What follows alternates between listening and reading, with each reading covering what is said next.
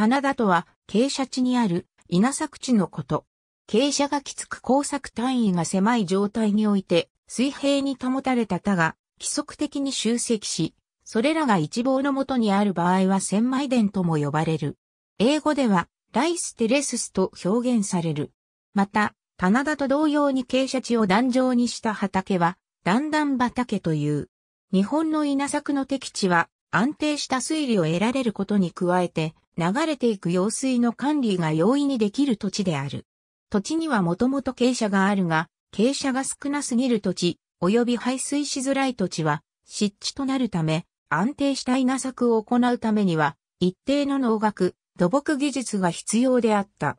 また、考えをする場合は、ある程度の傾斜が必要であり、傾斜があまりにも少ない河川下流域の中石平野は、江戸時代以前は稲作をするのに不適当であった。すなわち、近世以前の稲作適地は、比較的小規模で緩やかな中石線上地、小規模な谷地、あるいは小規模で扱いやすい地形が連続する、隆起順平原上などが主力であり、いずれも河川の中上流域が中心であった。これらの土地は、緩やかな高低差があり、一つ一つの田の間に明確な高低差が生じて広い意味での棚田を形成することになる。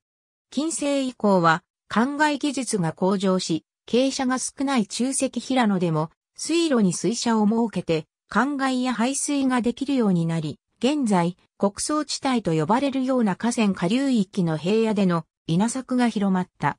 西日本は地形的に急峻な山地がいきなり海に没する地形が多く、また、中石平野も比較的狭いところが多い上に、工作的地は古くから高度に農地化されていた。このため、江戸時代に干拓を含めた中石平野の神殿開発の余地が乏しくなると、半経済の基盤の国高を増やすため、今度は休傾斜の山岳斜面上に水田が作られ、現在でいう棚田が多く作られた。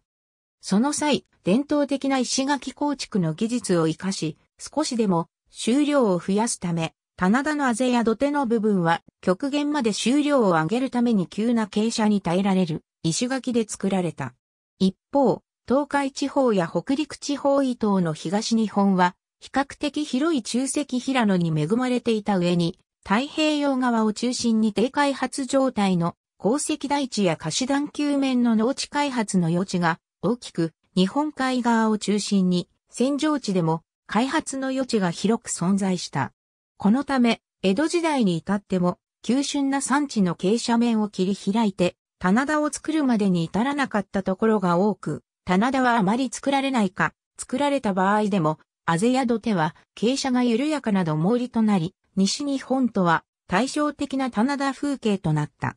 なお、東日本、西日本に関わらず、漁港の敵地が海沿いの山に囲まれた入江であることも多かったため、漁港から離れた平地の領地争いに敗れた漁村では、漁港近くの山に漁民の主食用の棚田が作られる例が見られる。第二次世界大戦後は、稲作の大規模化、機械化が推し進められ、傾斜に合わせて様々な形をしていた補助は、農業機械が導入しやすい大型の長方形に統一されて整備された。棚田のうち、特に休憩者の地域では、このような補助整備や機械化は難しかったが、土木技術の進歩で大規模化に成功した山間地の棚田も多い。ただし、西日本の棚田では、大規模化をしようとすると斜面を大きく削らなくてはならず、のり面の土砂崩れ対策など、付帯工事の費用が莫大となるため、大規模化されなかったり、営農放棄されたりして荒廃していくところも多く、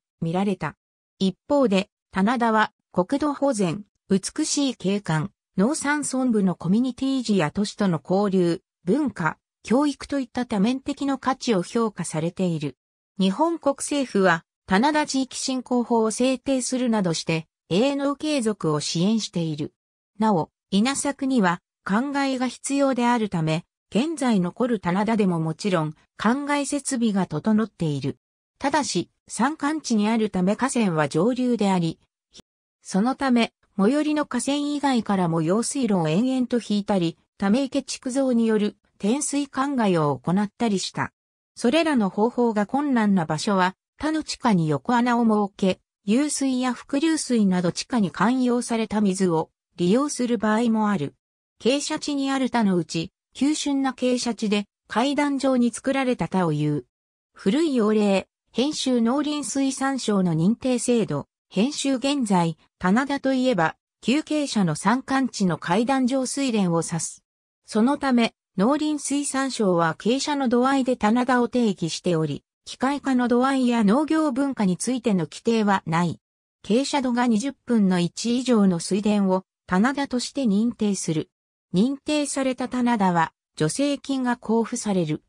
農水省と日本土壌協会が1993年に行った現地調査では農水省の定義による棚田は22万1067ヘクタールとされている。この棚田の面積は当時の全水田面積の約8%を占めており、かなり一般的な水田形態であることがわかる。しかし、この当時ですでに12%が工作放棄されていた。棚田の高付加価値化、編集棚田ではその排水能力の高さから、わさびなどの付加価値の高い商品作物を栽培している例も多い。また、棚田で採れた米であることを前面に出してアピールし、ブランド商品化している例もある。棚田の景観を維持、または観光地としてのリピーター情勢のために、オーナー制度を導入している地域が多数存在する。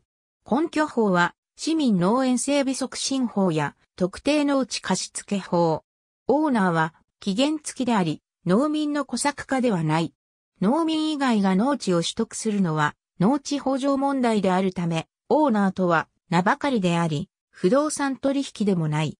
すなわち、オーナー制度はオプション取引にあたり、農村の副収入増加とリスクヘッジを達成できる。口述のように農作業の効率化が難しいため工作放棄された棚田葵が日本の棚田百選入りなどを契機に地元が再整備に取り組んだり、稲刈り後の田へのキャンプ誘致など、観光面でも活用されたりしている地区もある。平野の補助大型化整備の際に行われた田んぼの所有権の整理が棚田ではされていないため、外部の者にとって一体的な風景に見える棚田の所有権はかなり複雑に入り組んでおり、一世帯あたりの工作面積も少ない。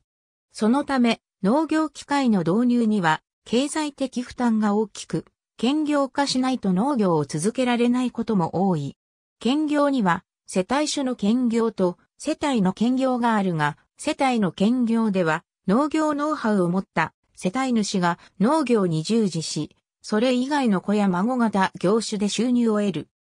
世帯の兼業では子や孫に農業ノウハウが受け継がれないので、営農者の世代交代が進まず、営農の主体が高齢化し、最終的に営農放棄となる。世帯主の兼業では、兼業しながらの営農法や家計ノウハウが受け継がれるため、営農放棄に至る確率は比較的低い。棚田は一つの田あたりの工作面積が小さく、大型農業機械の導入が困難である。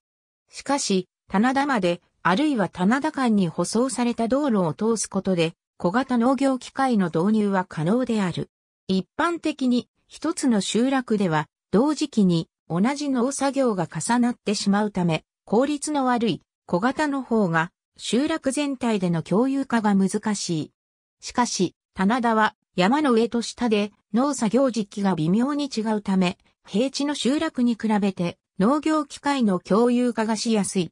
今まで農協は貸付残高を増やすために個別の農業機械導入を進めていたが、貸付リスクの少ない共有化に貸付の方向を変えており、棚田の農業システムに変化が起きている。棚田はかつて平野が少ない山間部や海岸部の食料自給に貢献し、現代でも景観や生物多様性の保持に大きな役割を担っている。だが米が余剰になるにつれ、工作効率の悪さから作付けが放棄される例が増えている。農水省は2005年で棚田の面積調査を中断したが、早稲田大学名誉教授に登録されている。米作水田ではないが、南米ペルーのウルバンバ渓谷には、岩塩が溶けた湧水を溜めて、食塩を採取する棚田状のマラス塩田がある。農林水産省は農業収入や兼業のみでの棚田の維持が難しいと考え、